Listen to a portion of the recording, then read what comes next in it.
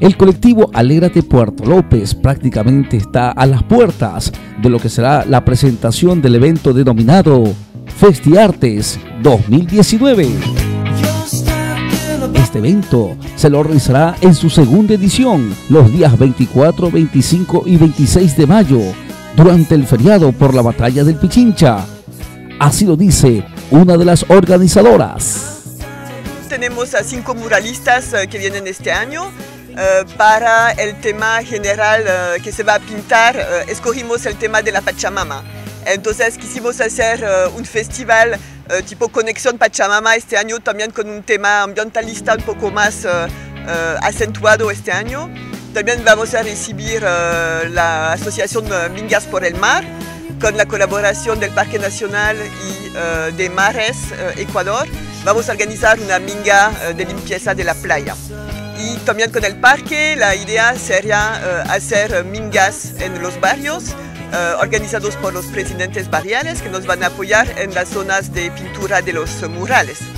Entonces ahí llamamos también a la comunidad para que participen, que ayuden a la gente que va a organizar esas mingas, que será lindo que todos ahí apoyen a la, al festival eh, en esas mente apoya muchísimo toda la comunidad, también la pequeña y mediana empresa, ¿no? que son empresas que nos apoyaron eh, sin realmente sillar y también el municipio nos ha apoyado también este año bastante y entonces toda la comunidad realmente nos apoyó de manera increíble y sin ellos, sin el sector hotelero, de restaurantes no podría ser ¿Qué nos puedes decir sobre este festival?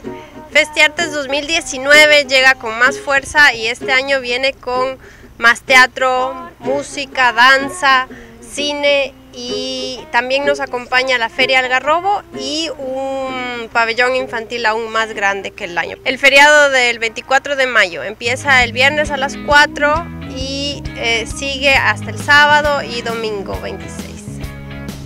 Soy parte del comité organizativo de Festiartes con el colectivo Alégrate Puerto López.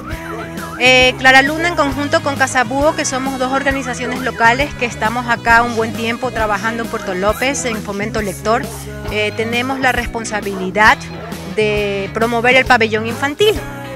Estamos a cargo de todo lo que corresponde a literatura infantil, eh, tal cual el año pasado vamos a tener un espacio donde los niños y sus familias puedan venir a, encontrarse con los libros, libros con una literatura interesante destinada para las edades de ellos. Luego de eso, este año vamos a contar con la presencia de autores, ilustradores reconocidos en Ecuador. Y me encantaría compartir los nombres de ellos como Sofía Zapata, eh, Santiago González y también la vicepresidenta de la Cámara del Libro, que es la señora Egna Iturralde. Ellos van a participar eh, haciendo talleres para nuestros niños que ya vamos a compartir en nuestra programación. Luego de eso vamos a tener un espacio que se llama Rondita de Cuentos, donde los invitados al festival para el pabellón infantil van a poder hacer una, una lectura en voz alta para los niños. Entonces estamos invitando a las escuelas para que se acerquen y puedan los niños, un grupo de niños con una organización, poder eh, participar este tanto en las actividades pabellón infantil. Sí, y luego también están los talleres que van a impartir los ilustradores, como decía Santiago González, Sofía Zapata, conocida como Zapato, y también... Eh, los artesanos que tenemos, que tenemos muy buenos artesanos, ¿no? Eh, estará desde las 10 de la mañana hasta aproximadamente 6 de la tarde, 7 de la noche, durante los tres días, de manera que podemos aprovechar también como comunidad de eh, adquirir estos productos orgánicos, artesanías de muy buena calidad y hecha por manos locales y por muy buenos artesanos.